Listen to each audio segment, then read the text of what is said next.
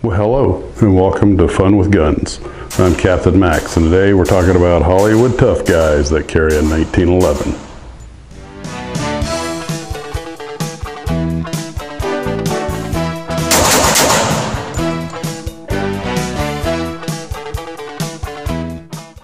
When I did my research for this subject, I found out that there were about seven Hollywood television characters that were identified for carrying the Colt 1911 45 automatic. When I first started working on this project, I just thought that they carried the gun to sort of set them apart from other characters, the police with the revolvers and so on and so forth. But as I put this together, I found out something interesting. Virtually all of the characters shared a very common thread. All of them were combat veterans, and most of them had done their service in Asia. Now, we're not going to be talking about movies here. We're going to be talking about television characters where the 1911 was sort of a quasi partner to the character and sort of helped to identify them throughout the run of the show. The first character is Mike Hammer, the private detective. Now, Mike Hammer was based on a series of stories written by Mickey Spillane, and Spillane actually played Mike Hammer in the 1963 movie. Then there was a television series that starred Darren McGavin, and of course, the 1911 was his friend, although he did sometimes use other guns, such as a pocket automatic or a revolver.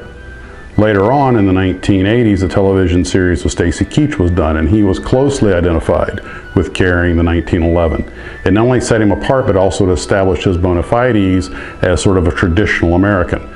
In fact, by the time Stacy Keach played Mike Hammer, he was a bit of an anachronism, still walking around dressed like it was the 1940s and wearing a hat. Mickey Spillane had written the character originally to be a PI that went after conventional bad guys, but eventually he became a symbol of anti-communism. And there was nothing more American than the good old Colt government model. As a result, it was a common thread through all of the characters that played Mike Hammer to carry a 1911. There was another television show that starred Ken Howard called The Manhunter. It was a fairly short-lived series about a World War I doughboy, highly decorated, who came back from the war and became a bounty hunter. Now, although he used a 1911, he also used long guns, shotguns, and lever-action rifles. This sidearm not only differentiated him from the local law enforcement, but also continually helped to reestablish his bona fides as a true war veteran from the trenches. Next in our series was the television show Crime Story. This starred Dennis Farina as MCU or Major Crime Unit Detective Mike Torello of the Chicago Police Department. Now Torello still carried a standard issue Department 38, but he also carried a 1911. And this actually made sense for a couple of reasons. One, Torello was a Korean War veteran, highly decorated. This was pointed out a couple of times in the show. In fact, you'll notice some of his officers carrying a variety of Korean War era guns, such as an M1 carbine. But they never lose their grounding as a civilian law enforcement agency. Most of them still carry their Police 38 specials, and one detective carries an early model 357 Magnum. But given that the bad guys Torello often faced were very well armed, he knew he had to upgun. In fact, even the bad guys carried 45 automatics. In this one scene, Paulie Taglia is making a bomb when his boss walks in on him, and of course he grabs his 45 and points it at him. Paulie was certainly no war hero or military veteran, but he did know that the 45 was an effective gun. Having such heavily armed bad guys meant that the police had to upgun to match them, and of course, Torello trusted his life to the 45 automatic. One character who is not only identified with the 45 automatic, but in particularly the GI Model 45 automatic was Tom Selleck's character, Magnum PI. Magnum was a Navy SEAL who'd come back from fighting in Vietnam, and he used what one can only suppose was his old service automatic. Unlike some characters in television shows that carry 1911s, Magnum was not modified in any way. It looked like a straight up military model.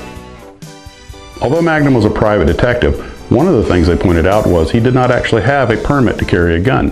When he did, he did so at his own peril, and it was only through his connections in the police department that he didn't get in a lot of trouble for it. The television show made sure that Magnum kept a, this small number of guns that he used, and only two of which were his. By only using the 1911 and on occasion the PPK, the show kept a certain continuity to it. Very believable, given that Magnum really didn't have much money for buying other guns, and the fact that where he lived in Hawaii, obtaining other guns was an extremely difficult and expensive process. An interesting side note, Tom Selleck's 45 automatic from the television show is now in the National Firearms Museum, and because of the type of blanks they had to use in the show, his 1911 prop gun is actually a 9mm. Side note, When he played Jesse Stone in the television series Stone Cold, Selleck once again carried a 1911.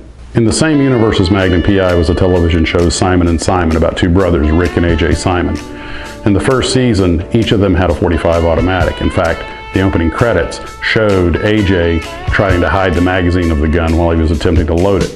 It was primarily Rick that carried the 45 automatic, and at one point he actually had a nickel 45 automatic. But as the show progressed, he switched over to a Smith & Wesson Model 2944 Magnum, and his brother started carrying a Smith & Wesson, and those became their standard guns.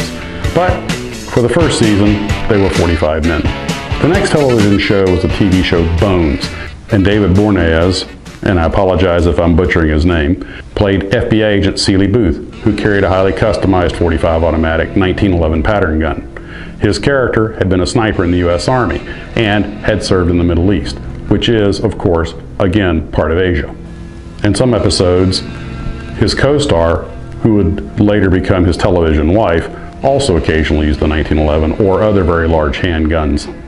The last Hollywood tough guy to carry the 1911 is one I've talked about before in this series, and that's Dean Winchester, the TV show Supernatural.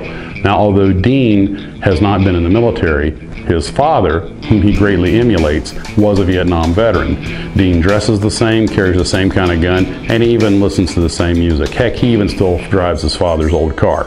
For most of the run of the show, Dean, played by actor Jensen Ackles, has carried a 1911 A1 that's been nickel plated and engraved. It has white grips with the silver medallions. Personally, I find this the most attractive of all of the guns, and if I could have one, that'd be mine. There is one more TV show that had Rod Taylor and Dennis Cole, short-lived, called The Bearcats. Taking place in around 1914, just before the U.S. entry into World War I, it was an interesting kind of Western because it had cars and airplanes. But they also carried 45 automatics because those guys had the latest of everything. It was an interesting concept for a show. When I first set out to do this video, I simply thought the writers and the directors were giving their characters the 45 automatic to show that they were big and tough and that they were manly men and were pro-American. But then I realized it was more than just that. The 1911 has in fact become a symbol of America itself. The standard military sidearm for nearly eight decades, it fought in two world wars and virtually every conflict against communism. By giving your detective or your policeman or your character in general the 1911 you basically say he's an American. I'm Max with Fun with Guns. Guys, take care and be safe.